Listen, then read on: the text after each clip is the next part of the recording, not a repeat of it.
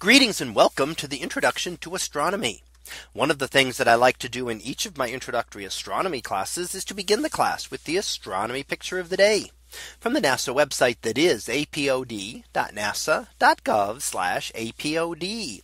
And today's picture for January 2nd of 2022. Well, it is titled quadruple lunar halo over winter road. So what do we see here?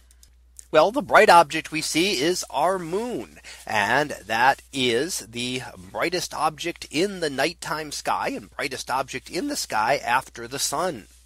And what we're looking at here are the halos around the moon.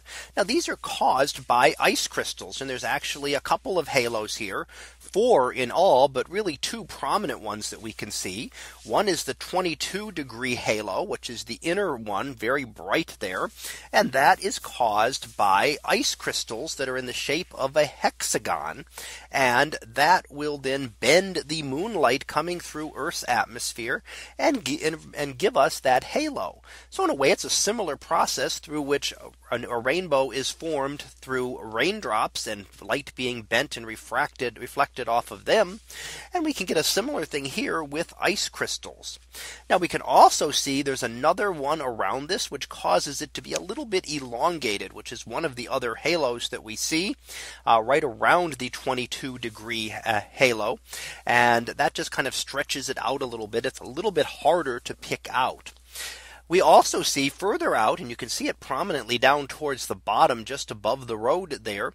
You can see what is a 46 degree halo. So almost twice as far away from the moon.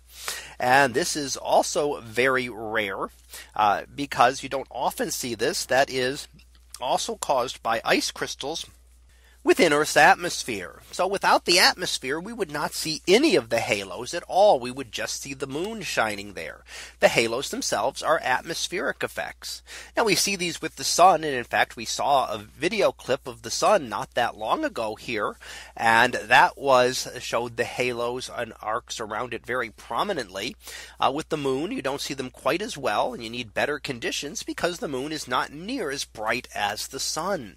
So you need better conditions to be able to see those halos around our moon. Now, of course, we can see some other objects in the sky as well. And in fact, the constellation of Orion is there just above the largest tree to the right of center. We can see the constellation of Orion with the three stars in the belt, the Orion Nebula hanging down on the sword there, and the bright stars Betelgeuse right in the 22 degree halo, and the bright star Rigel down towards the bottom there, uh, not quite to the 46 degree halo.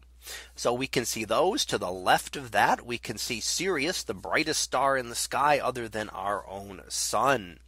So we get to see again a few of those here as well.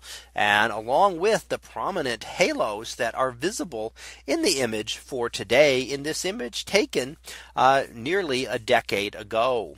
So that was our picture of the day for January 2nd of 2022. It was titled quadruple lunar halo over winter road. We'll be back again tomorrow for the next picture previewed to be Saturn moonscape. So we'll see what that is about tomorrow. And until then, have a great day, everyone. And I will see you in class.